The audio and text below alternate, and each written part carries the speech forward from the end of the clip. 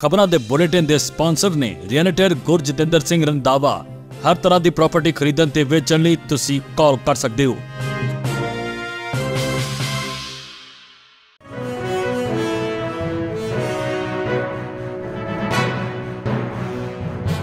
ਸਤਿ ਸ਼੍ਰੀ ਅਕਾਲ ਜੀ, ਤੁਸੀਂ ਦੇਖ ਰਹੇ ਹੋ ਪੰਜਾਬ ਮਿਲ ਯੂਐਸਏ ਟੀਵੀ ਮੈਂ ਸੁਰਬੀ ਖਬਰਾਂ ਦੇ ਇਸ ਬੁਲੇਟਿਨ 'ਚ ਤੁਹਾਡਾ ਬਹੁਤ-ਬਹੁਤ ਸਵਾਗਤ ਹੈ ਜੀ।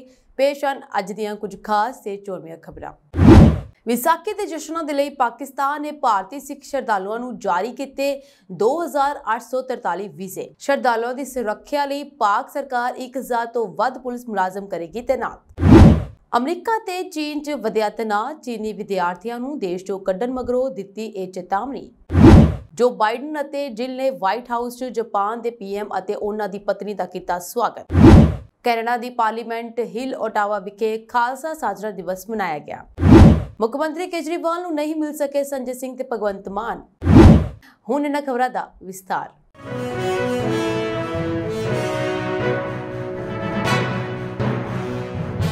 ਪਾਕਿਸਤਾਨ ਨੇ ਭਾਰਤ ਦੇ ਸਿੱਖ ਸ਼ਰਧਾਲੂਆਂ ਨੂੰ 2843 ਵੀਜ਼ੇ ਜਾਰੀ ਕੀਤੇ ਹਨ, ਜਿਸ ਨਾਲ ਉਹਨਾਂ ਨੂੰ 13 ਅਪ੍ਰੈਲ ਤੋਂ 22 ਅਪ੍ਰੈਲ ਤੱਕ ਪਾਕਿਸਤਾਨ ਦੇ ਵਿੱਚ ਹੋਣ ਵਾਲੇ ਸਾਲਾਨਾ ਵਿਸਾਖੀ ਤਿਉਹਾਰ ਵਿੱਚ ਹਿੱਸਾ ਲੈਣ ਦੀ ਇਜਾਜ਼ਤ ਮਿਲ ਗਈ ਹੈ। ਇਹ ਘੋਸ਼ਣਾ ਭਾਰਤ ਵਿੱਚ ਪਾਕਿਸਤਾਨ ਹਾਈ ਕਮਿਸ਼ਨ ਵੱਲੋਂ ਸੋਸ਼ਲ ਮੀਡੀਆ ਪਲੇਟਫਾਰਮ ਐਕਸ ਤੇ ਇੱਕ ਪੋਸਟ ਰਾਹੀਂ ਸਾਂਝੀ ਕੀਤੀ ਗਈ ਹੈ। ਵਿਸਾਖੀ ਸਿੱਖ ਭਾਈਚਾਰੇ ਲਈ ਬਹੁਤ ਸੱਭਿਆਚਾਰਕ ਅਤੇ ਧਾਰਮਿਕ ਮਹੱਤਵ ਰੱਖਦੀ ਹੈ, ਜੋ ਵਾਢੀ ਦਾ ਤਿਉਹਾਰ ਹੈ ਅਤੇ 1699 ਵਿੱਚ ਗੁਰੂ ਗੋਬਿੰਦ ਸਿੰਘ ਜੀ ਦੁਆਰਾ ਖਾਲਸਾ ਪੰਥ ਦੀ ਸਥਾਪਨਾ ਦੀ ਯਾਦ ਦਿਵਾਉਂਦਾ ਹੈ। ਹਰ ਸਾਲ ਦੁਨੀਆ ਭਰ ਤੋਂ ਹਜ਼ਾਰਾਂ ਸਿੱਖ ਸ਼ਰਧਾਲੂ, ਇਤਿਹਾਸਕ ਸਿੱਖ ਗੁਰੂ ਧਾਮਾਂ ਤੇ ਵਿਸਾਖੀ ਮਨਾਉਣ ਲਈ ਪਾਕਿਸਤਾਨ ਦੇ ਵਿੱਚ ਇਕੱਠੇ ਹੁੰਦੇ ਹਨ। ਜਿਨ੍ਹਾਂ ਵਿੱਚ ਹਸਨ ਅਬਦਾਲ ਵਿੱਚ ਗੁਰਦੁਆਰਾ ਪੰਜਾ ਸਾਹਿਬ ਅਤੇ ਲਾਹੌਰ ਦੇ ਗੁਰਦੁਆਰਾ ਡੇਰਾ ਸਾਹਿਬ ਸ਼ਾਮਲ ਹਨ। ਭਾਰਤ ਦੇ ਵਿੱਚ ਪਾਕਿਸਤਾਨ ਹਾਈ ਕਮਿਸ਼ਨ ਨੇ ਇੱਕ ਪੋਸਟ ਵਿੱਚ ਕਿਹਾ, ਵਿਸਾਖੀ ਦੇ ਜਸ਼ਨਾਂ ਦੇ ਮੌਕੇ ਤੇ 13-12 ਅਪ੍ਰੈਲ 2024 ਤੱਕ ਪਾਕਿਸਤਾਨ ਦੇ ਵਿੱਚ ਹੋਣ ਵਾਲੇ ਸਾਲਾਨਾ ਤਿਉਹਾਰ ਵਿੱਚ ਹਿੱਸਾ ਲੈਣ ਦੇ ਲਈ ਭਾਰਤ ਦੇ ਸਿੱਖ ਸ਼ਰਧਾਲੂਆਂ ਨੂੰ 2843 ਵੀਜ਼ੇ ਜਾਰੀ ਕੀਤੇ ਗਏ ਹਨ। ਪਾਕਿਸਤਾਨ ਸੂਬੇ ਪੰਜਾਬ ਦੇ ਘੱਟ ਗਿਣਤੀ ਮਾਮਲਿਆਂ ਦੇ ਮੰਤਰੀ ਅਤੇ ਪਾਕਿਸਤਾਨ ਸਿੱਖ ਗੁਰਦੁਆਰਾ ਪ੍ਰਬੰਧਕ ਕਮੇਟੀ ਦੇ ਚੇਅਰਮੈਨ ਰਮੇਸ਼ ਸਿੰਘ ਅਰੋੜਾ ਨੇ ਸਿੱਖ ਭਾਈਚਾਰੇ ਦੇ ਮਨਾਏ ਜਾ ਰਹੇ ਸਮਾਗਮਾਂ ਲਈ ਭਾਰਤ ਨੂੰ ਸੱਦਾ ਦਿੱਤਾ ਹੈ ਅਤੇ ਆਉਣ ਵਾਲੇ ਵਿਸਾਖੀ ਮੇਲੇ ਦੇ ਨਾਲ ਭਾਰਤ ਤੋਂ ਆਉਣ ਵਾਲੇ ਸਿੱਖ ਸ਼ਰਧਾਲੂਆਂ ਨੂੰ ਵਧੀਆ ਸਹੂਲਤਾਂ ਮੁਹੱਈਆ ਕਰਨ ਦਾ ਦ੍ਰਿੜ ਸੰਕਲਪ ਜ਼ਾਹਰ ਕੀਤਾ। ਸਰਹੱਦ ਪਾਰਲੇ ਸੂਤਰਾਂ ਅਨੁਸਾਰ ਰਮੇਸ਼ ਸਿੰਘ ਅਰੋੜਾ ਨੇ ਇਹ ਪ੍ਰਗਟਾਵਾ ਗੁਰਦੁਆਰਾ ਪੰਜਾ ਸਾਹਿਬ ਹਸਨ ਅਬਦਾਲ ਵਿਖੇ ਵਿਸਾਖੀ ਦੇ ਦਿਹਾੜੇ ਸੰਬੰਧੀ ਕੀਤੇ ਜਾ ਰਹੇ ਪ੍ਰਬੰਧਾਂ ਦਾ ਜਾਇਜ਼ਾ ਲੈਣ ਲਈ ਹੋਈ ਮੀਟਿੰਗ ਦੀ ਪ੍ਰਧਾਨਗੀ ਕਰਦਿਆਂ ਕੀਤਾ। ਉਹਨਾਂ ਨੇ ਭਾਰਤ ਤੋਂ ਆਉਣ ਵਾਲੇ ਸਿੱਖ ਸ਼ਰਧਾਲੂਆਂ ਦੀ ਸੁਰੱਖਿਆ, ਰਿਹਾਇਸ਼ ਅਤੇ ਸਫ਼ਾਈ ਸਹੂਲਤਾਂ ਦਾ ਜਾਇਜ਼ਾ ਲੈਣ ਦੇ ਲਈ ਯਾਤਰੀ ਬੋਰਡਿੰਗ ਬਲਾਕ, ਰਸੋਈ ਅਤੇ ਮੁੱਖ ਪ੍ਰਾਰਥਨਾ ਸਥਾਨ ਦਾ ਦੌਰਾ ਕੀਤਾ। ਉਹਨਾਂ ਨੇ ਕਿਹਾ, ਦੇਸ਼ 'ਚ ਮੌਜੂਦਾ ਅਮਨ ਕਾਨੂੰਨ ਦੀ ਸਥਿਤੀ ਨੂੰ ਧਿਆਨ ਵਿੱਚ ਰੱਖਦਿਆਂ ਭਾਰਤੀ ਸਿੱਖ ਸ਼ਰਧਾਲੂਆਂ ਲਈ ਬਹੁ ਪੱਧਰੀ ਅਤੇ ਫੁੱਲ ਪ੍ਰੂਫ ਸੁਰੱਖਿਆ ਪ੍ਰਬੰਧ ਕਰਨ ਦੇ ਨਿਰਦੇਸ਼ ਦਿੰਦਿਆਂ ਸ਼ਰਧਾਲੂਆਂ ਨੂੰ ਉਹਨਾਂ ਦੀ ਯਾਤਰਾ ਦੌਰਾਨ ਮੁਫਤ ਭੋਜਨ ਅਤੇ ਮੈਡੀਕਲ ਸਹੂਲਤਾਂ ਮੁਹੱਈਆ ਕਰਵਾਈਆਂ ਜਾਣਗੀਆਂ ਅਰੋੜਾ ਨੇ ਕਿਹਾ ਕਿ ਯਾਤਰਾ ਦੇ ਬਿਹਤਰ ਪ੍ਰਬੰਧਾਂ ਨੂੰ ਯਕੀਨੀ ਬਣਾਉਣ ਦੇ ਲਈ ਸ਼ਰਧਾਲੂਆਂ ਲਈ ਵਿਸ਼ੇਸ਼ ਰੇਲ ਗੱਡੀਆਂ ਚਲਾਈਆਂ ਜਾਣਗੀਆਂ ਅਤੇ ਪਾਕਿਸਤਾਨ ਅਤੇ ਭਾਰਤ ਵਿਚਾਲੇ ਹੋਏ ਪ੍ਰੋਟੋਕੋਲ ਅਨੁਸਾਰ ਵੀਜ਼ੇ ਜਾਰੀ ਕੀਤੇ ਜਾਣਗੇ। ਜਦਕਿ ਪਾਕਿਸਤਾਨ ਸਰਕਾਰ ਨੇ ਵੱਖ-ਵੱਖ ਸਿੱਖ ਗੁਰਦੁਆਰਿਆਂ ਵਿੱਚ ਵਿਸਾਖੀ ਦਾ ਦਿਹਾੜਾ ਮਨਾਉਣ ਦੇ ਲਈ ਪ੍ਰਬੰਧ ਕਰਨ ਦੇ ਹੁਕਮ ਦਿੱਤੇ ਹਨ। ਉਹਨਾਂ ਨੇ ਕਿਹਾ, ਪੰਜਾਬ 'ਚ ਖਾਸ ਕਰਕੇ ਗੁਰਦੁਆਰਾ ਸ੍ਰੀ ਨਨਕਾਣਾ ਸਾਹਿਬ ਅਤੇ ਗੁਰਦੁਆਰਾ ਸ੍ਰੀ ਡੇਰਾ ਸਾਹਿਬ ਲਾਹੌਰ ਵਿੱਚ ਸਿੱਖ ਸੰਗਤਾਂ ਦੀ ਸੁਰੱਖਿਆ ਦੇ ਪ੍ਰਬੰਧ ਵੱਲ ਵਿਸ਼ੇਸ਼ ਧਿਆਨ ਦਿੱਤਾ ਜਾ ਰਿਹਾ ਹੈ। ਰਾਓ ਨੇ ਕਿਹਾ ਕਿ ਸੁਰੱਖਿਆ ਦੀ ਨਿਗਰਾਨੀ ਲਈ 6 ਐਸਡੀਪੀਓ 17 ਇੰਸਪੈਕਟਰ 103 ਵਧੀਕ police superintendent 94 head constable 667 constable ਅਤੇ 36 ਮਹਿਲਾ ਕਾਂਸਟੇਬਲ ਸਮੇਤ ਲਗਭਗ 1000 ਪੁਲਿਸ ਅਧਿਕਾਰੀ ਅਤੇ ਕਰਮਚਾਰੀ ਤੈਨਾਤ ਕੀਤੇ ਜਾਣਗੇ।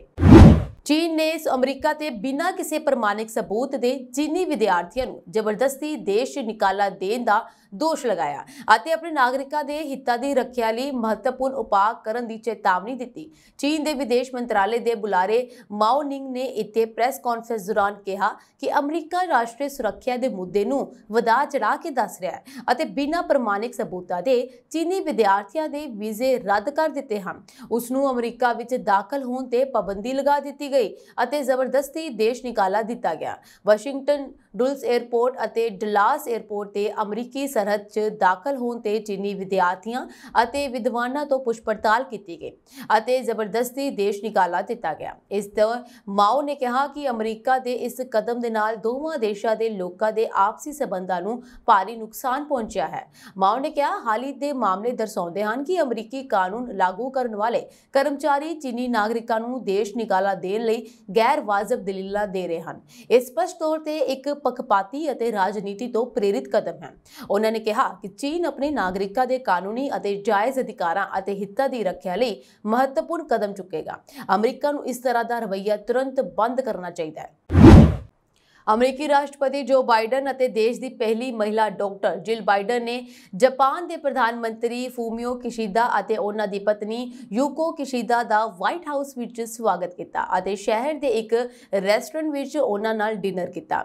ਇੰਡੋ ਪੈਸੀਫਿਕ ਖੇਤਰ ਦੇ ਦੇਸ਼ਾਂ ਨਾਲ ਸਬੰਧਾਂ ਨੂੰ ਮਜ਼ਬੂਤ ਕਰਨ ਦੀਆਂ ਕੋਸ਼ਿਸ਼ਾਂ ਦੇ ਹਿੱਸੇ ਵਜੋਂ ਬਾਈਡਨ ਨੇ ਬੁੱਧਵਾਰ ਨੂੰ ਜਾਪਾਨ ਦੇ ਪ੍ਰਧਾਨ ਮੰਤਰੀ ਨੂੰ ਇੱਕ ਸਰਕਾਰੀ ਡਿਨਰ ਲਈ ਸੱਦਾ ਦਿੱਤਾ।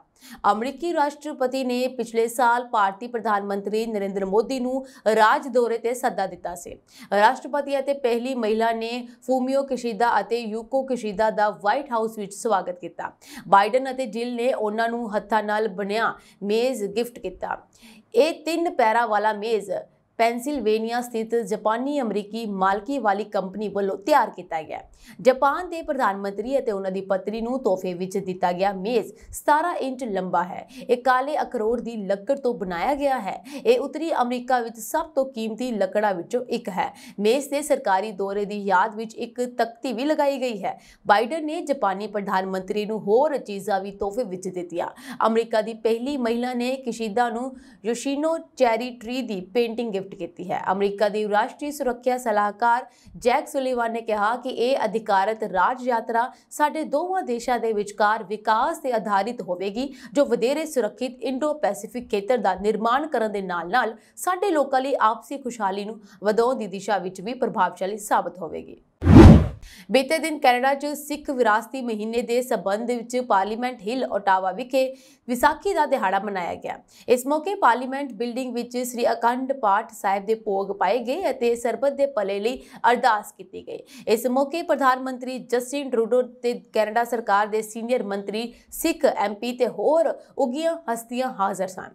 ਟੋਰਾਂਟੋ ਤੋਂ ਬਲਜਿੰਦਰ ਸੇਖਾ ਵੱਲੋਂ ਤਿਆਰ ਕੀਤਾ ਸਿੱਖ ਹੈਰੀਟੇਜ ਮੰਥ ਬੰਟਨ ਸੰਗਤਾਂ ਵੱਲੋਂ ਲਗਾਇਆ ਗਿਆ। ਇਸ ਮੌਕੇ ਪ੍ਰਧਾਨ ਮੰਤਰੀ ਵੱਲੋਂ ਇੱਕ ਸੰਦੇਸ਼ ਰਾਹੀਂ ਸਿੱਖ ਜਗਤ ਨੂੰ ਖਾਲਸਾ ਪੰਥ ਦੇ ਸਾਜਨਾ ਦਿਵਸ ਦੀ ਵਧਾਈ ਦਿੱਤੀ ਗਈ।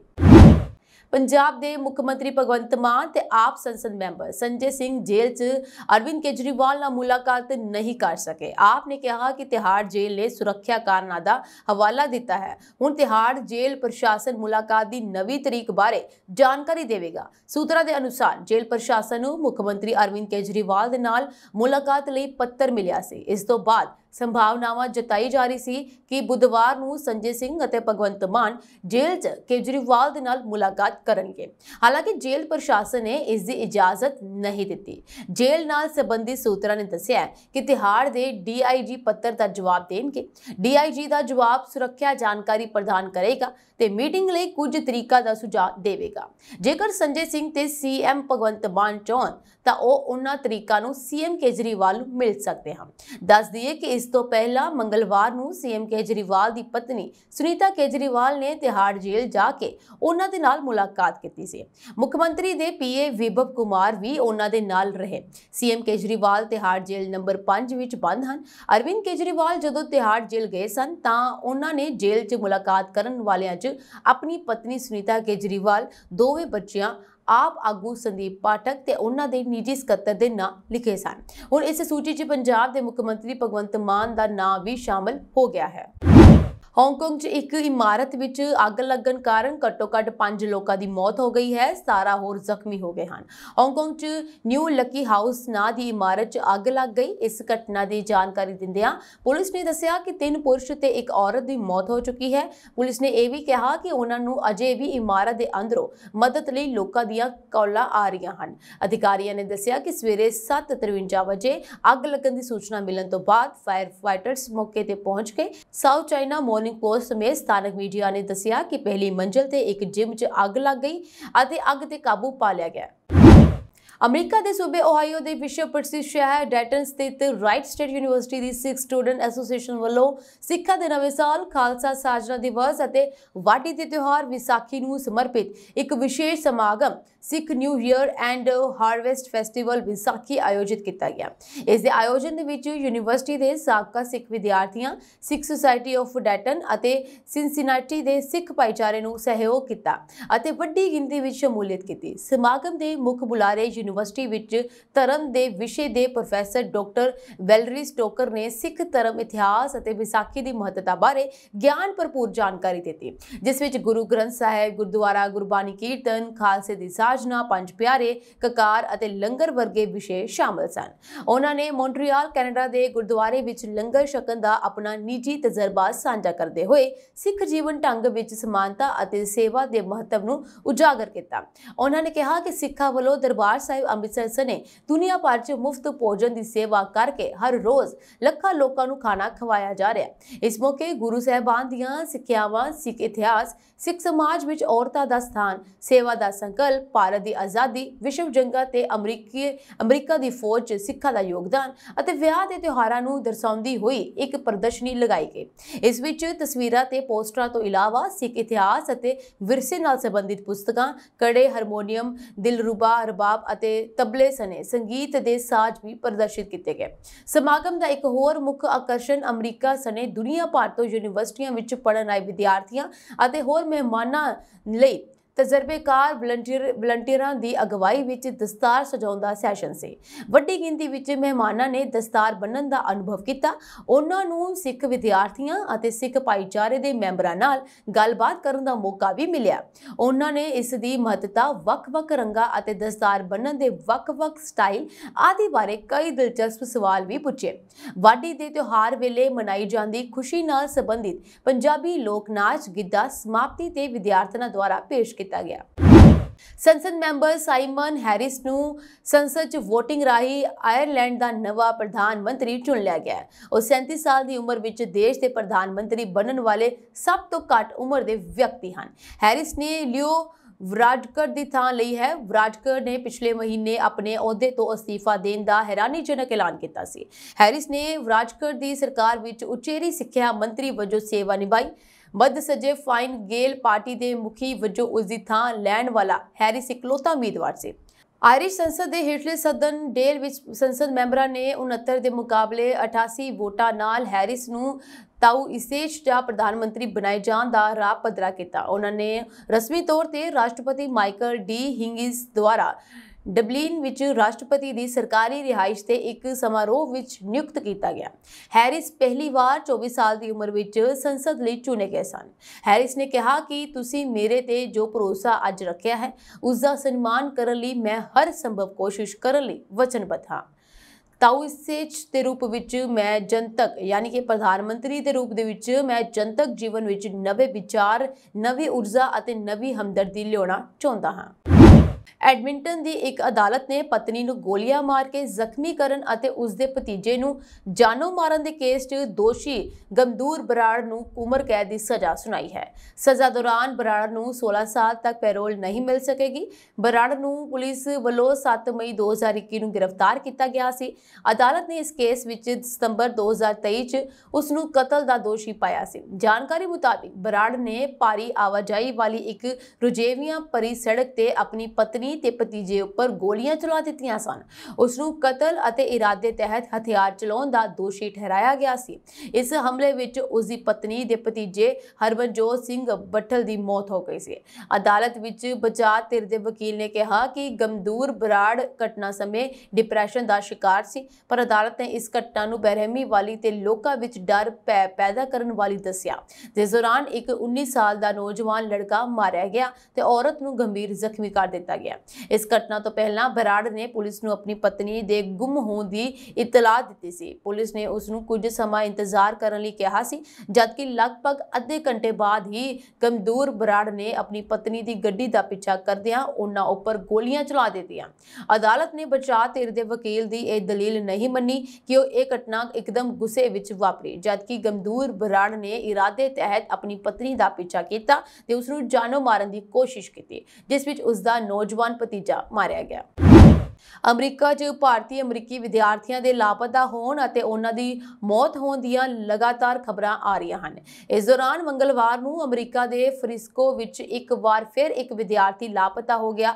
ਮਾਮਲੇ ਦੀ ਜਾਂਚ ਤੋਂ ਬਾਅਦ ਵਿਦਿਆਰਥੀ ਦਾ ਪਤਾ ਲੱਗਿਆ। ਫ੍ਰਿਸਕੋ ਪੁਲਿਸ ਨੇ ਇਹ ਜਾਣਕਾਰੀ ਦਿੱਤੀ ਹੈ। ਪੁਲਿਸ ਸ਼ੁਰੂ ਵਿੱਚ ਇਸ਼ਿਕਾ ਠਾਕੁਰ ਨਾਮ ਦੀ 17 ਸਾਲ ਲੜਕੀ ਦੀ ਭਾਲ ਕਰ ਰਹੀ ਸੀ, ਜੋ ਸੋਮਵਾਰ ਰਾਤ ਨੂੰ ਆਪਣੇ ਘਰ ਤੋਂ ਚਲੀ ਗਈ ਸੀ ਅਤੇ ਉਦੋਂ ਤੋਂ ਹੀ ਨਜ਼ਰ ਨਹੀਂ ਆਏ। ਉਸਨੇ ਬਾਅਦ ਵਿੱਚ ਐਕਸ ਤੇ ਤਾਇਨਾਤ ਕੀਤਾ। ਲਾਪਤਾ ਲੜਕੀ ਨੂੰ ਲੱਭ ਲਿਆ ਗਿਆ। ਅਸੀਂ ਹਰ ਕਿਸੇ ਦਾ ਉਹਨਾਂ ਦੀ ਸਹਾਇਤਾ ਦੀਆਂ ਪੇਸ਼ਕਸ਼ਾਂ ਅਤੇ ਸਮਰਥਨ ਦੇ ਸ਼ਬਦਾਂ ਲਈ ਧੰਨਵਾਦ ਕਰਨਾ ਚਾਹੁੰਦੇ ਹਾਂ। ਹਾਲਾਂਕਿ ਫਿਆਸਕੋ ਪੁਲਿਸ ਨੇ ਅਜੇ ਤੱਕ ਇਹ ਖੁਲਾਸਾ ਨਹੀਂ ਕੀਤਾ ਕਿ ਉਹਨਾਂ ਨੇ ਕਿਸ਼ੋਰ ਲੜਕੀ ਨੂੰ ਕਿਵੇਂ ਅਤੇ ਕਿੱਥੋਂ ਲੱਭਿਆ। ਇਸ ਸਾਲ ਅਮਰੀਕਾ ਵਿੱਚ 11 ਭਾਰਤੀ ਅਮਰੀਕੀ ਵਿਦਿਆਰਥੀ ਮ੍ਰਿਤਕ ਪਾਏ ਗਏ ਹਨ। ਇਹ ਘਟਨਾ ਭਾਰਤੀ ਅਮਰੀਕੀ ਵਿਦਿਆਰਥੀਆਂ ਦੀ ਵੱਧਦੀ ਸੂਚੀ ਵਿੱਚ ਵਾਧਾ ਕਰਦੀ ਹੈ, ਜਿਨ੍ਹਾਂ ਦੀ ਹਾਲ ਹੀ ਦੇ ਵਿੱਚ ਦੇਸ਼ ਭਰ ਵਿੱਚ ਲਾਪਤਾ ਜਾਂ ਰਹੱਸਮੀ ਢੰਗ ਨਾਲ ਮੌਤ ਹੋਣ ਦੀ ਰਿਪੋਰਟ ਕੀਤੀ ਗਈ ਹੈ। ਉੱਤਰੀ ਇਟਲੀ ਦੇ ਸੂਬੇ ਐਮੀਲੀਆ ਰੋਮਾਂਗਨਾ ਦੇ ਜ਼ਿਲ੍ਹਾ ਬਲੋਨੀਆ ਦੇ ਸ਼ਹਿਰ ਬਰਗੀ ਦੇ ਪਹਾੜਾਂ ਵਿੱਚੋਂ ਵਹਿੰਦੀ ਸੁਵਿਆਨਾ ਝੀਲ ਉੱਪਰ ਸਥਿਤ ਐਨਲ ਗ੍ਰੀਨ ਪਾਵਰ ਦੁਆਰਾ ਚਲਾਏ ਜਾ ਰਹੇ ਪਾਣੀ ਤੋਂ ਬਿਜਲੀ ਬਣਾਉਣ ਦੇ ਹਾਈਡਰੋ ਇਲੈਕਟ੍ਰਿਕ ਪਲਾਂਟ ਵਿੱਚ ਅਚਾਨਕ ਹੋਏ ਜ਼ਬਰਦਸਤ ਧਮਾਕੇ ਕਾਰਨ ਚਾਰ ਲੋਕਾਂ ਦੀ ਦਰਦਨਾਕ ਮੌਤ ਹੋ ਜਾਣ ਦੀ ਘਟਨਾ ਦਾ ਖੁਲਾਸਾ ਹੋਇਆ ਹੈ।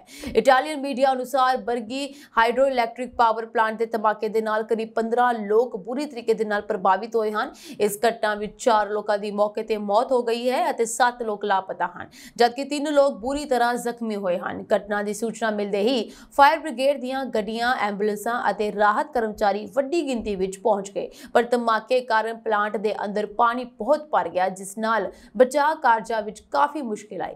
ਇਸ ਘਟਨਾ ਨਾਲ ਸਾਰੇ ਇਲਾਕੇ ਵਿੱਚ ਸਨਸਨੀ ਫੈਲ ਗਈ ਅਤੇ ਕਮਿਊਨੀਆਨੋ ਸ਼ਹਿਰ ਜੋ ਕਿ ਬਰਗੀ ਦੇ ਨਾਲ ਹੀ ਲੱਗਦਾ ਹੈ, ਉੱਥੇ ਦੇ ਮੇਅਰ ਮਾਰਕੋ ਮਾਸੀਨਾਰਾ ਨੇ ਘਟਨਾ ਸਥਲ ਨੂੰ ਭਿਆਨਕ ਕੰਮ ਵਾਲੀ ਥਾਂ ਦੱਸਦਿਆਂ ਕਿਹਾ, ਇਸ ਧਮਾਕੇ ਨਾਲ ਇਟਾਲੀਅਨ ਲੋਕ ਬਹੁਤ ਪ੍ਰਭਾਵਿਤ ਹੋਏ ਹਨ। ਘਟਨਾ ਦੇ ਕਾਰਨਾਂ ਦਾ ਹਲੇ ਪੂਰੀ ਤਰ੍ਹਾਂ ਪਤਾ ਨਹੀਂ ਲੱਗ ਸਕਿਆ, ਪਰ ਦੱਸਿਆ ਜਾ ਰਿਹਾ ਹੈ ਕਿ ਬੇਸਮੈਂਟ ਦੇ ਅੰਦਰ ਧਮਾਕੇ ਨਾਲ ਬਹੁਤ ਪਾਣੀ ਭਰ ਗਿਆ, ਜਿਹੜਾ ਕਿ ਰਾਹਤ ਕਾਰਜਾਂ ਵਿੱਚ ਅੜਿੱਕਾ ਬਣ ਰਿਹਾ ਹੈ। ਇਸ ਦੇ ਬਾਵਜੂਦ ਸੁਰੱਖਿਆ ਕਰਮਚਾਰੀ ਸਥਿਤੀ ਨਾਲ ਨਜਿੱਠ ਰਹੇ ਹਨ। ਇਟਲੀ ਦੀ ਪ੍ਰਧਾਨ ਮੰਤਰੀ ਮੈਡਮ ਜੋਰਜੀਆ ਮੈਲੋਨੀ ਨੇ ਇਸ ਮੰਦਭਾਗੀ ਘਟਨਾ ਉੱਪਰ ਸੋਸ਼ਲ ਮੀਡੀਆ ਰਾਹੀਂ ਚਿੰਤਾ ਅਤੇ ਦੁੱਖ ਦਾ ਪ੍ਰਗਟਾਵਾ ਵੀ ਕੀਤਾ। ਉੱਤਰੀ ਕੀਨੀਆ ਵਿੱਚ ਇੱਕ ਨਦੀ ਦੇ ਪੁਲ ਤੇ ਇੱਕ ਬੱਸ ਹੜ੍ਹ ਦੇ ਪਾਣੀ ਵਿੱਚ ਰੁੜ ਗਈ। ਹਾਲਾਂਕਿ ਬੱਸ ਵਿੱਚ ਸਵਾਰ 51 ਯਾਤਰੀਆਂ ਨੂੰ ਸੁਰੱਖਿਅਤ ਬਚਾ ਲਿਆ ਗਿਆ। ਅਧਿਕਾਰੀਆਂ ਨੇ ਮੰਗਲਵਾਰ ਨੂੰ ਇਹ ਜਾਣਕਾਰੀ ਦਿੱਤੀ Tana River County commander Ali Nadima ਮੁਤਾਬਿਕ ਬੱਸ ਅਜੇ ਵੀ ਪੁਲ ਤੋਂ ਲਗਭਗ 30 ਮੀਟਰ ਦੀ ਦੂਰੀ ਤੇ ਨਦੀ ਤੇ ਫਸੀ ਹੋਈ ਹੈ। ਹਾਲਾਂਕਿ ਪਾਣੀ ਦਾ ਪੱਧਰ ਹੌਲੀ-ਹੌਲੀ ਘਟ ਰਿਹਾ ਹੈ। ਨਦੀਮਾ ਨੇ ਦੱਸਿਆ ਕਿ ਫਿਲਹਾਲ ਪੁਲ ਨੂੰ ਅਨਮਿੱਥੇ ਸਮੇਂ ਲਈ ਬੰਦ ਕਰ ਦਿੱਤਾ ਗਿਆ। ਉਹਨਾਂ ਨੇ ਕਿਹਾ, ਹੁਕਮਾਂ ਦੀ ਉਲੰਘਣਾ ਕਰਨ ਵਾਲੇ ਵਿਅਕਤੀ ਨੂੰ ਗ੍ਰਿਫਤਾਰ ਕੀਤਾ ਜਾਵੇਗਾ ਅਤੇ ਉਸ ਖਿਲਾਫ ਕੇਸ ਦਰਜ ਕੀਤਾ ਜਾਵੇਗਾ। ਉਹਨਾਂ ਨੇ ਕਿਹਾ ਕਿ ਪੁਲਿਸ ਬੱਸ ਡਰਾਈਵਰ ਦੀ ਭਾਲ ਕਰ ਰਹੀ ਹੈ, ਜਿਸ ਨੇ ਸਵਾਰੀਆਂ ਦੀ ਪਰਵਾਹ ਕੀਤੇ ਬਿਨਾਂ ਹੜ੍ਹ ਦੇ ਪਾਣੀ ਵਿੱਚੋਂ ਲੰਘਣ ਦਾ ਫੈਸਲਾ ਕੀਤਾ। ਪੁਲਿਸ ਨੇ ਕਿਹਾ ਕਿ ਕੁਝ ਯਾਤਰੀ ਬੱਸ ਦੇ ਡੁੱਬਣ ਤੋਂ ਪਹਿਲਾਂ ਹੀ ਉਸ ਵਿੱਚੋਂ ਬਚ ਨਿਕਲਣ ਵਿੱਚ ਸਫਲ ਹੋ ਗਏ। ਜਦਕਿ ਹੋਰ ਬੱਸ ਯਾਤਰੀ ਬੱਸ ਛੱਤ ਤੇ ਚੜ ਗਏ। ਕੀਨੀਆ ਦੀ ਸੜਕ ਏਜੰਸੀ ਨੇ ਇਸ ਪੁਲ ਦੇ ਦੂਜੇ ਹਿੱਸੇ ਨੂੰ ਬੰਦ ਕਰਨ ਦਾ ਫੈਸਲਾ ਕੀਤਾ ਸੀ, ਜਿਸ ਤੋਂ ਕੁਝ ਹੀ ਘੰਟਿਆਂ ਬਾਅਦ ਇਹ ਘਟਨਾ ਵਾਪਰ ਗਈ। ਇਸ ਇਲਾਕੇ ਵਿੱਚ ਲਗਾਤਾਰ ਪੈ ਰਹੇ ਮੋਲੇਤਾਰ ਮੀਂਹ ਕਾਰਨ ਤਨਾ ਨਦੀ ਵਿੱਚ ਹੜ੍ਹ ਆ ਗਿਆ ਹੈ। ਅਸੀਂ ਤੇ ਤੁਸੀਂ ਕਈ ਵਾਰ ਆਪਣੀ ਹੈਲਥ ਨੂੰ ਲੈ ਕੇ ਡਾਕਟਰ ਨੂੰ ਮਿਲਣ ਲਈ ਪਹਿਲਾਂ ਹੀ ਅਪਾਇੰਟਮੈਂਟ ਲੈ ਲੈਂਦੇ ਹਾਂ। ਤਾਂ ਜੋ ਸਾਨੂੰ ਡਾਕਟਰ ਕੋਲ ਜਾਣ ਤੋਂ ਬਾਅਦ ਲੰਬੀਆਂ ਕਤਾਰਾਂ 'ਚ ਨਾ ਖੜਨਾ ਪਵੇ। ਕਈ ਵਾਰ ਕਿਸੇ ਹੋਰ ਕੰਮ ਦੀ ਵਜ੍ਹਾ ਨਾਲ ਅਸੀਂ ਲਈ ਹੋਈ ਅਪਾਇੰਟਮੈਂਟ ਕੈਨਸਲ ਕਰਨ ਲਈ ਮਜਬੂਰ ਹੋ ਜਾਂਦੇ ਹਾਂ। ਤੇ ਕਈ ਵਾਰ ਹੋਰ ਕਾਰਨਾਂ ਕਰਕੇ ਅਸੀਂ ਡਾਕਟਰ ਕੋਲ ਨਹੀਂ ਪਹੁੰਚ ਪਾਉਂਦੇ। ਅਜਿਹਾ ਕਰਨਾ ਸ਼ਾਇਦ ਭਾਰਤ ਜਾਂ ਬਹੁਤੇ ਦੇਸ਼ਾਂ ਵਿੱਚ ਆਮ ਗੱਲ ਹੋਵੇ, ਪਰ ਫਰਾਂਸ ਇਸ ਨੂੰ ਲੈ ਕੇ ਇੱਕ ਨਵਾਂ ਕਾਨੂੰਨ ਲਿਆਉਣ ਵਾਲਾ ਹੈ, ਜਿਸ ਵਿੱਚ ਅਪਾਇੰਟਮੈਂਟ ਲੈ ਕੇ ਡਾਕਟਰ ਕੋਲ ਨਾ ਜਾਣ ਤੇ ਤੁਹਾਨੂੰ ਜੁਰਮਾਨਾ ਦੇਣਾ ਪੈ ਸਕਦਾ ਹੈ। ਫਰਾਂਸ 'ਚ ਹੁਣ ਜੇਕਰ ਤੁਸੀਂ ਡਾਕਟਰ ਤੋਂ ਅਪਾਇੰਟਮੈਂਟ ਲੈ ਲਈ ਹੈ, ਤੇ ਤੁਹਾਡੇ ਕੋਲ ਡਾਕਟਰ ਦੀ ਅਪਾਇੰਟਮੈਂਟ ਕੈਨਸਲ ਕਰਨ ਪਿੱਛੇ ਕੋਈ ਖਾਸ ਕਾਰਨ ਨਹੀਂ ਹੈ, ਤਾਂ ਤੁਹਾਡੇ ਤੇ 5 ਯੂਰੋ ਦਾ ਜੁਰਮਾਨਾ ਲੱਗ ਸਕਦਾ ਹੈ। ਫਰਾਂਸ ਸਰਕਾਰ ਅਗਲੇ ਸਾਲ ਜਨਵਰੀ ਤੋਂ ਇਹ ਕਦਮ ਚੁੱਕਣ ਜਾ ਰਹੀ ਹੈ। ਫਰਾਂਸ 'ਚ ਟੈਟੇਰੀ ਹੋ ਰਹੀ ਸਿਹਤ ਸੇਵਾ ਸਟਾਫ ਦੀ ਕਮੀ ਤੇ ਡਾਕਟਰਾਂ ਦੀ ਵੱਧਦੀ ਮੰਗ ਨੂੰ ਦੇਖਦੇ ਹੋਏ ਇਹ ਫੈਸਲਾ ਲਿਆ ਗਿਆ। ਫਰਾਂਸ ਦੇ ਪ੍ਰਧਾਨ ਮੰਤਰੀ ਗੈਬਰੀਅਲ ਅਟਾਲ ਨੇ ਮੁਲਾਜ਼ਮਾਂ ਦੀ ਘਾਟ ਵੱਧਦੀ ਲਾਗਤ ਤੇ ਵੱਧਦੀ ਮੰਗ ਕਾਰਨ ਖਸਤਾ ਹਾਲਤ ਹੋ ਰਹੀਆਂ ਸਿਹਤ ਸੇਵਾਵਾਂ ਨੂੰ ਬੜਾਵਾ ਦੇਣ ਲਈ ਮਰੀਜ਼ਾਂ ਤੇ 5 ਯੂਰੋ ਜੁਰਮਾਨੇ ਦਾ ਐਲਾਨ ਕੀਤਾ। ਪੀਐਮ ਨੇ ਦੱਸਿਆ ਕਿ 7 ਕਰੋੜ ਨੂੰ ਆਬਾਦੀ ਵਾਲੇ ਦੇਸ਼ ਵਿੱਚ ਹਰ ਸਾਲ 2 ਕਰੋੜ ਲੋਕ ਸਮਾਂ ਲੈ ਕੇ ਵੀ ਦਿਖਾਉਣ ਨਹੀਂ ਜਾਂਦੇ। ਉਹਨਾਂ ਨੇ ਕਿਹਾ, ਅਸੀਂ ਇਸ ਨੂੰ ਜਾਰੀ ਰੱਖਣ ਦੀ ਇਜਾਜ਼ਤ ਨਹੀਂ ਦੇ ਸਕਦੇ। ਅਮਰੀਕਾ ਵਿੱਚ ਭਾਰਤ ਦੇ ਰਾਜਦੂਤ ਰਹਿ ਚੁੱਕੇ ਸਾਬਕਾ ਆਈਐਫਐਸ ਅਧਿਕਾਰੀ ਅਤੇ ਪੰਜਾਬ ਦੀ ਅੰਮ੍ਰਿਤਸਰ ਸੀਟ ਤੋਂ ਭਾਜਪਾ ਦੇ ਉਮੀਦਵਾਰ ਤਰਨਜੀਤ ਸਿੰਘ ਸੰਧੂ ਨੂੰ ਵਾਈ ਪਲੱਸ ਸੁਰੱਖਿਆ ਦਿੱਤੀ ਗਈ ਹੈ। ਹਾਲ ਹੀ ਵਿੱਚ ਤਰਨਜੀਤ ਸਿੰਘ ਸੰਧੂ ਨੇ ਭਾਜਪਾ ਦਾ ਪੱਲਾ ਫੜਿਆ ਸੀ। ਭਾਜਪਾ ਦੇ ਕੌਮੀ ਜਨਰਲ ਸਕੱਤਰ, ਪਾਰਟੀ ਦੇ ਕੌਮੀ ਸਕੱਤਰ ਮਨਜਿੰਦਰ ਸਿੰਘ ਸਿਰਸਾ ਅਤੇ ਹੋਰ ਆਗੂਆਂ ਦੀ ਹਾਜ਼ਰੀ ਵਿੱਚ ਤਰਨਜੀਤ ਸਿੰਘ ਸੰਧੂ ਮਾਰਚ ਵਿੱਚ ਭਾਜਪਾ ਵਿੱਚ ਸ਼ਾਮਲ ਹੋਏ ਸਨ। ਇਸ ਦੌਰਾਨ ਸੰਧੂ ਨੇ ਪ੍ਰਧਾਨ ਮੰਤਰੀ ਨਰਿੰਦਰ ਮੋਦੀ ਦੀ ਤਾਰੀਫ ਵੀ ਕੀਤੀ ਸੀ। ਬਰਹੂਮ ਪੰਜਾਬੀ ਗਾਇਕ ਸਿੱਧੂ ਮੂਸੇਵਾਲੇ ਦੇ ਕਤਲ ਕੇਸ ਵਿੱਚ 27 ਵਿੱਚੋਂ 25 ਮੁਲਜ਼ਮਾਂ ਨੇ ਵੀਡੀਓ ਕਾਨਫਰੰਸ ਰਾਹੀਂ ਪੇਸ਼ੀ ਭੁਗਤੀ, ਜਦਕਿ ਬਾਕੀ ਦੋ ਮੁਲਜ਼ਮਾਂ ਦੀਪਕ ਮੁੰਡੀ ਅਤੇ ਸਚਿਨ ਪਿਵਾਨੀ ਨਾਲ ਜੇਲ੍ਹ ਵਿੱਚ ਤਾਲਮੇਲ ਨਹੀਂ ਹੋ ਸਕਿਆ। ਅਦਾਲਤ ਨੇ ਅਗਲੀ ਸੁਣਵਾਈ 19 ਅਪ੍ਰੈਲ ਤੇ ਪਾ ਦਿੱਤੀ ਹੈ।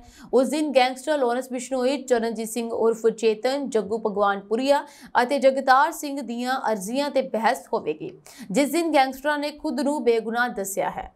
ਇਸ ਤੋਂ ਪਹਿਲਾਂ ਪੰਜਾਬ ਪੁਲਿਸ ਦੀ ਵਿਸ਼ੇਸ਼ ਜਾਂਚ ਟੀਮ ਨੇ ਗੈਂਗਸਟਰ ਲੋਰੈਂਸ ਬਿਸ਼ਨੋਈ ਸਮੇਤ ਤਿੰਨ ਮੁਲਜ਼ਮਾਂ ਵੱਲੋਂ ਦਾਇਰ ਅਰਜ਼ੀਆਂ ਦਾ ਵਿਰੋਧ ਕਰਦਿਆਂ ਹੇਠਲੀ ਅਦਾਲਤ ਵਿੱਚ ਜਵਾਬ ਦਾਖਲ ਕੀਤਾ, ਜਦਕਿ ਇਨ੍ਹਾਂ ਗੈਂਗਸਟਰਾਂ ਵੱਲੋਂ ਕਤਲ ਕੇਸ ਵਿੱਚ ਸ਼ਾਮਲ ਨਾ ਹੋਣ ਦਾ ਦਾਅਵਾ ਪਹਿਲਾਂ ਹੀ ਕੀਤਾ ਗਿਆ ਸੀ। ਮੂਸੇਵਾਲੇ ਦੇ ਮਾਪਿਆਂ ਵੱਲੋਂ ਪੇਸ਼ ਹੋਏ ਵਕੀਲ ਸਤਿੰਦਰਪਾਲ ਸਿੰਘ ਮਿੱਤਲ ਨੇ ਦੱਸਿਆ ਕਿ ਅਦਾਲਤ ਵੱਲੋਂ 5 ਅਪ੍ਰੈਲ ਨੂੰ ਚਾਰ ਜਣਿਆਂ ਸਚਿਨ ਥਾਪਨ, ਉਰਫ ਸਚਿਨ ਬਿਸ਼ਨੋਈ, ਸਚਿਨ ਪਵਾਨੀ ਦੀਪਕ ਮੁੰਡੀ ਅਤੇ ਕਪਿਲ ਪੰਡਿਤ ਨੂੰ ਪ੍ਰੋਡਕਸ਼ਨ ਵਾਰੰਟ ਜਾਰੀ ਕੀਤੇ ਗਏ ਸਨ। ਉਹਨਾਂ ਵਿੱਚੋਂ ਦੀਪਕ ਮੁੰਡੀ ਅਤੇ ਸਚਿਨ ਪਿਵਾਨੀ ਨੂੰ ਛੱਡ ਕੇ ਬਾਕੀ ਦੋ ਅਜੇ ਵੀਡੀਓ ਕਾਨਫਰੰਸ ਰਾਹੀਂ ਪੇਸ਼ ਹੋਏ ਹਨ। ਇਹ ਸਾਂਝੀ ਆਸੇ ਕੁਝ ਖਾਸ ਤੇ ਚੋਣਵੀਆਂ ਖਬਰਾਂ, ਹੋਰ ਅਪਡੇਟਸ ਨਾਲ ਜੁੜੇ ਰਹਿਣ ਦੇ ਲਈ ਤੁਸੀਂ ਬਨੇ ਰਹੋ ਪੰਜਾਬ ਮੇਲ ਯੂਐਸਏ ਟੀਵੀ ਦੇ ਨਾਲ। ਤੁਹਾਡੇ ਸਭ ਦਾ ਬਹੁਤ ਬਹੁਤ ਧੰਨਵਾਦ।